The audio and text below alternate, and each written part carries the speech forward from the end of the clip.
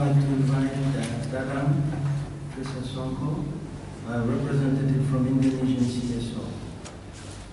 Oh, sorry, my, my error, Secretary General, my apologies, Transparency International Indonesia. And welcome so much. Now, as I mentioned before, uh, I would like to share Indonesian experience uh, in more challenging issue, transparency, participation, participation, and innovation regarding to how we have to strengthen our democracy and fulfill human rights in Indonesia.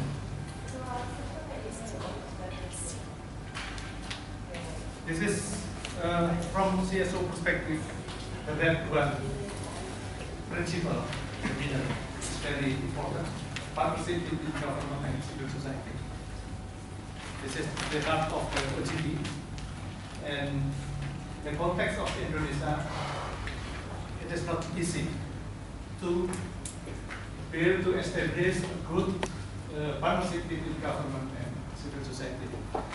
As uh, we know that we have uh, political background.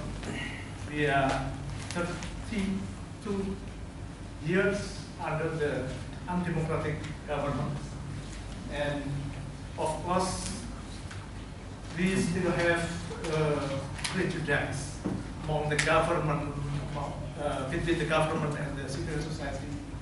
And, but after 1998 reformation era, we have a big opportunity to sit together with the government to talk, to discuss about our concern. And uh, yeah, the political openness is a big opportunity for CSO, Indonesian CSO, uh,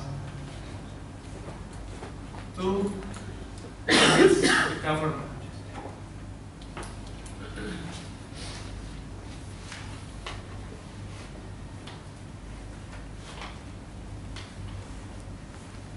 This is the secure concrete commitment of OGP.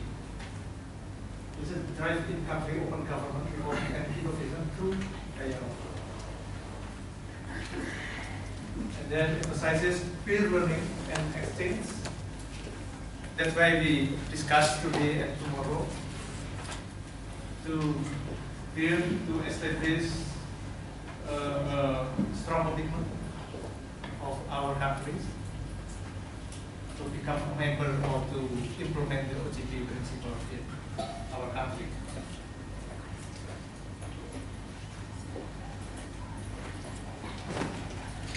In Indonesian context, after we become a member of OGP, uh, the support OGP in international level came from senior political leaders, OGP Secretariat, implementing agencies, it is uh, some state institution who have to implement the program, and also CSO coalitions. We have uh, OGP National. It consists uh, representative team from government institution and also from CSO, national and uh, subnational CSO. The task of the core team is first to uh, uh, decision-making process, decision-making body to, for example, to formulate the program, to monitor the program, and also to communicate with the other countries, and to support the representative in the OGP Global Steering Committee as well. This is the core team of the, we call it the Open Government Indonesia. We have uh, seven ministries and seven CSOs who sit together in Open Government or team.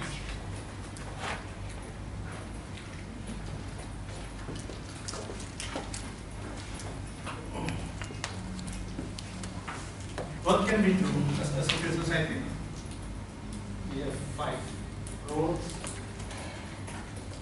and functions. First, we campaign for eligibility. That's the first step. And then create action plan, join with the government.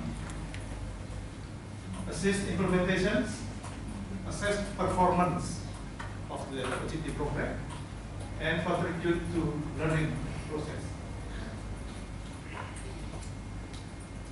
The next, this is the Indonesian context. Where is Indonesian's corruption perception index published by TI in the uh, last year? Indonesian score is 32. It means that we need 8 point toward average score of the ASEAN countries. And we need 11 point toward different score of the ASEAN Pacific countries. This is the ASEAN average score.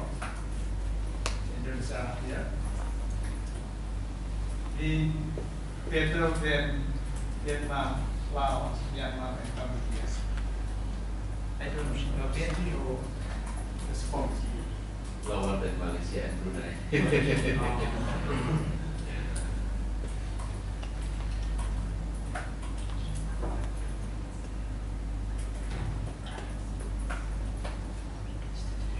This is uh, quoting from the uh, right, right, right index.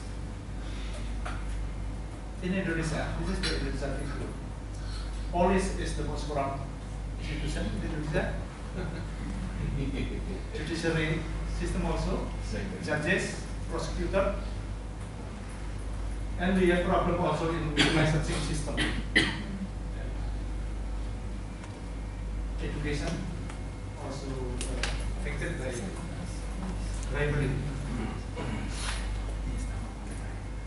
If we compare with the ASEAN countries,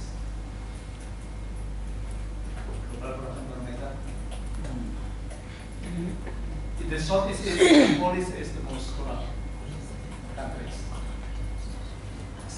Cambodia, judiciary, Indonesia, police, Malaysia, Philippine police also. Political parties. Vietnam, police.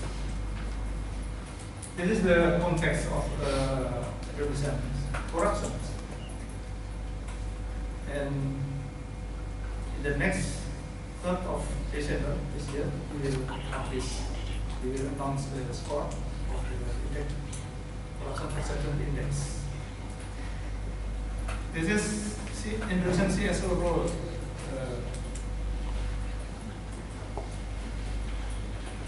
Therefore, maybe some of add these roles. Facilitating forum on national obesity action plan, cooperation and independent report monitoring. This is the independent mechanism to evaluate, to monitor the uh, implementation of OGP action plan. And then facilitating multi-stakeholder forum and community engagement on local transparency and public service reform. Giving technical assistance to the local government on implementation of Freedom of Information Act.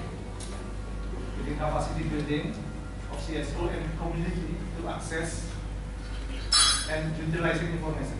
Not only access, but how to utilize information. It is still problem in Indonesia also. Even though, for example, our Supreme Court already that data to the public, but some intellectual student was not utilizing this information. This court decision, for example. And the last one is measuring transparency and the implementation of uh, Freedom of Information Act through budget transparency of public institution, open government related law policy. And just give this document to Mr. Sun. This is the TI Indonesia uh, report on assessment of law and policy of open government in Indonesia. And report we already presented to government of Indonesia. So from this report, we have a clear map, clear loopholes. Where is the strengthen, where is the uh, gaps in, the ideal and the reality of uh, our law and policies regarding to the open government in Indonesia. And what happened also in the field, this is what I already mentioned. This is the report. Indonesian NGO, we call it FITRA. FITRA is the uh, Indonesian Budget Transparency Forum. Annually, they uh, assessment to measure the openness of budget information based on website content. And it's publicly, you can access in the uh, website. The government also access this uh, and to the government to to ask the reform regarding to the transparency of budget information.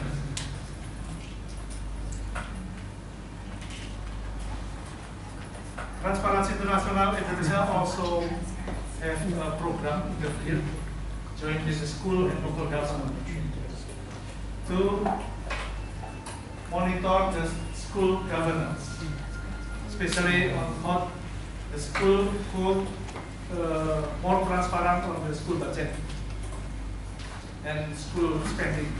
Yeah.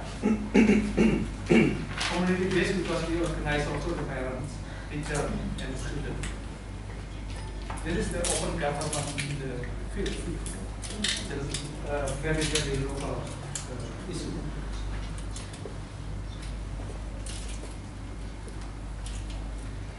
Pattiro, Nanda and Mas Okto also from.